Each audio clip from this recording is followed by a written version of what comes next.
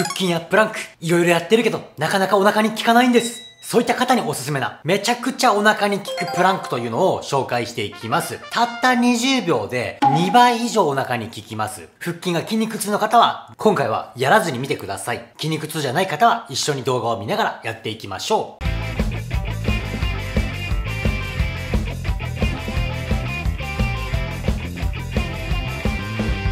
はい、皆さんこんにちは、タートルです。今回ですね、膝を片方だけついたプランクというのを紹介していきます。ちょっと特殊なやり方なんですけども、めちゃくちゃお腹に効くんです。プランクっていうのは慣れてくるともう30秒、1分、あまりお腹に効いた感じがしなくなってくるんですね。そこで今回はたった20秒だけ一緒に頑張ってみてください。スマートフォン持ったままできますので、うつ伏せになってやり方を見ながらチャレンジしてください。そして腹筋とプランク、実際お腹へこませるにはどっちがいいのって思ってる方も多いと思うんですけども、腹筋が苦手な方はプランクでいいです。腹筋が得意な方は腹筋でもいいですし、ですがプランクっていうのはお腹へこませるメリットっていうのがすごくあります。なぜかというと、お腹が下向きになっているので、その下向きになるとお腹出ますよね。それを持ち上げる力、そしてプラスアルファ息をしっかり吐くと、腹横筋というのがすごく身につくんですね。腹筋じゃついつい力んでしまう人も、今回のプランクやっていけば、お腹がへこみやすくなります。ぜひ一緒にチャレンジしていきましょう。たった20秒1セットでいいです。真似して、辛かったらコメント残してください。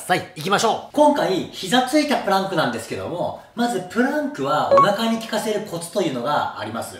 まずは、スマホ顔の前を置いて、肩の下に肘をつきます。ここから腰をちょっと丸めて、肩からお尻まで一直線にするイメージです。今は腰が反れてると思います。この反れてる腰を、こういう感じで、お腹をへこませて腰を丸めてみてください。これが基本のポーズです。これを踏まえた状態でやっていきます。できる方は手をしっかり伸ばして、スマートフォン見ながら腰を丸めて、つま先立てて、体を持ち上げる。片方膝伸ばす。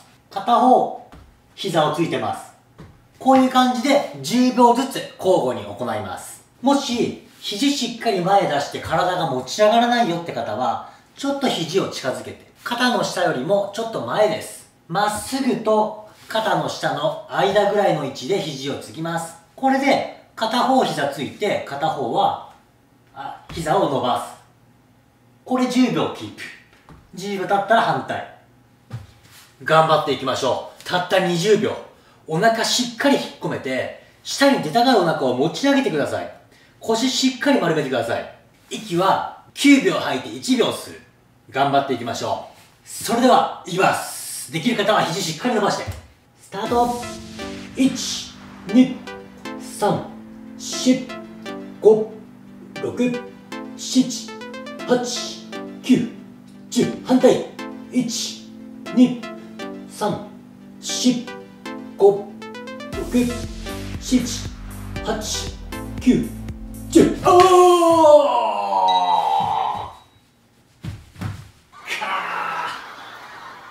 4 5 6 7 8 9 10おーたった20秒お疲れでした。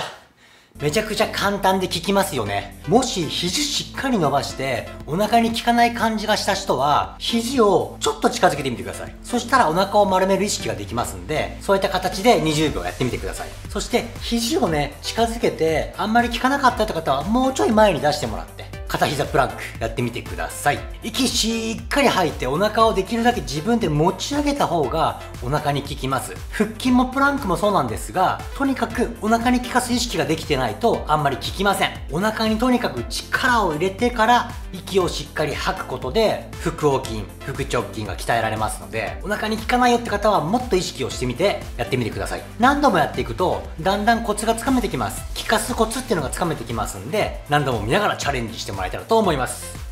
やったよ腹筋に効いたよって方はですねグッドボタンとコメントよろしくお願いいたします。各種 SNS も行ってますんで説明欄からリンクのフォローそして動画のシェアなどもご協力よろしくお願いいたします。今回もご視聴ありがとうございました。